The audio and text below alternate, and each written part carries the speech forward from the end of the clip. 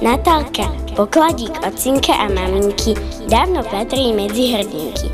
Toľko, koľko si za 6 ročkov preskákala, by málo ktorá osoba dokázala.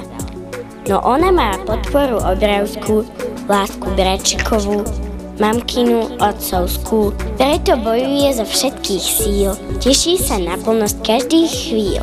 Všetko najlepšie, Natálka Anielik, tak, ako ty ľúbiš, nedokáže nik. Tešíme sa na pokroky tvoje, keď povieš prvé slová svoje.